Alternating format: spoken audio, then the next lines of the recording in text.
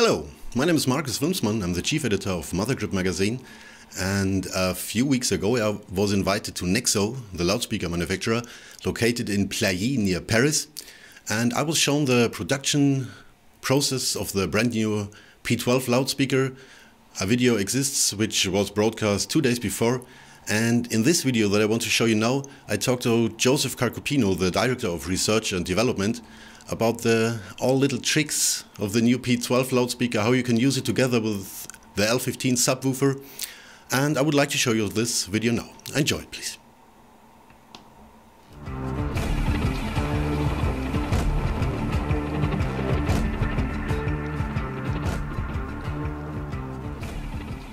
Now I've reached the heart of R&D of Nexo, and next to me is standing Joseph Carcopino, the head of R&D. Joseph, where are we here? Hello Markus and welcome to Nexo R&D anechoic chamber. This is in this room we are making the measurements for our speakers, especially the polar plot. And this is very important measurement for our Nexo P12 new speakers because you know the directivity can be adjusted using flanges. So we have checked that all the flanges have the right directivity. And this anechoic chamber is quite unique because behind the foam you can see on the wall there is some large metal plate that are absorbing the energy of the sound wave in the low frequency. So with just one meter deep wall, we can go down to the lower frequency the P12 can do. Joseph, to be honest, it's a bit too silent for me in here. Maybe we can go and find a better place for the interview. Now we have reached the training department of Nexo, and next to me and Joseph, we have the brand new P12 along with the L15 subwoofer. Joseph, what is specific about the point source philosophy of Nexo? Well, Point source system has always been a very important market for Nexo, and that's the way most of our customers are knowing Nexo uh, through the PS range, uh, which was introduced in the middle of the 90s. Um, this range was very famous because we sold more than 150,000 units over the world. But today, 20 years after, it's time to replace it with something uh, fresher. Um, the situation is very different from the 90s because today a lot of manufacturers are on the market.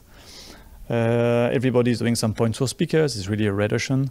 So at R&D we thought, what can we add uh, as a functionality to this new point source speaker uh, in order to have uh, something unique that can help the customers.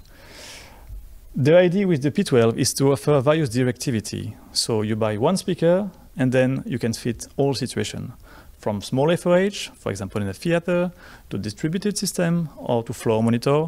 You can adjust to very narrow for long throw or to something very wide when you need it. Okay, Joseph, now please explain us how to change the directivity of the P12. Okay, so basically the P12 is offering a 60 by 60 dispersion uh, thanks to the horn in the center of the speaker. But you can add one of these plastic parts to change the directivity. This one is the equivalent of the what we call PS on. It means it's asymmetrical directivity. It's very useful for FOH. If you are near um, the stage, you will have a very large directivity, and the far you go from the from the stage, then you have very narrow directivity. So it's good for an audience when you're FOH situation. This other flanges uses um, asymmetrical directivity. It's a 90-40 degree. So you can change from something totally symmetrical to something that will have a privilege on one of the two directions, either this way or this way.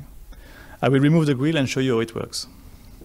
Okay, so I just take a coin and turn the quarter turn screw. Then I remove the grill. I take one of the flanges, for example, in this direction, thanks to the magnet is fitted. Then I put the grill back.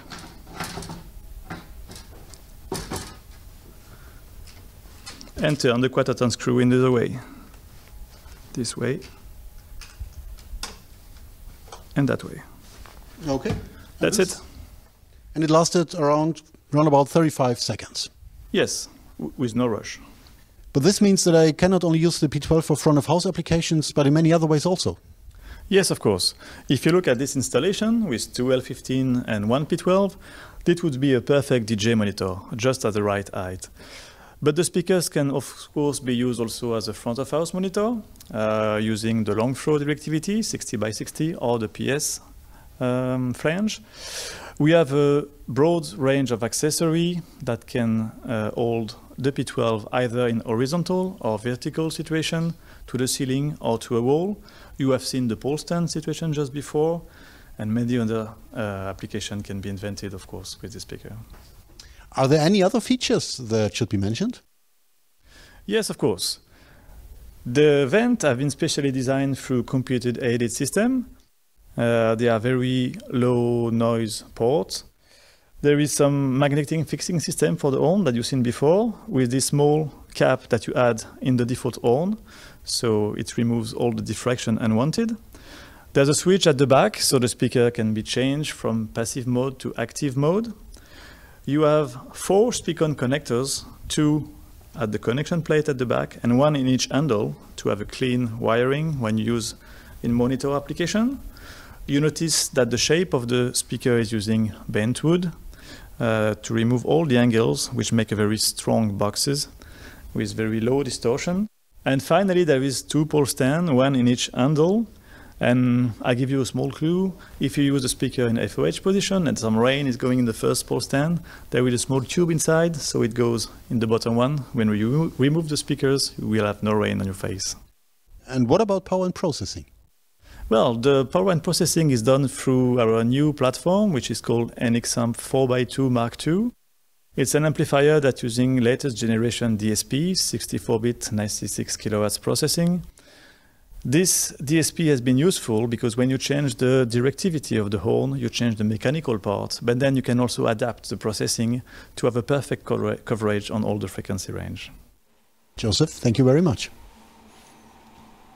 That was Joseph Carcopino, the Director of Research and Development in Nexo, explaining to us the features and tricks and nice ideas of the new P12 loudspeaker and how we can use it together with the also brand new L15 subwoofer. Okay, that was the second part of our three-part video series and the next part and the final part will be broadcast uh, upcoming Wednesday and then I will take a closer look at the brand new amplification of Nexo. I hope I'll see you then. Enjoy your evening and goodbye.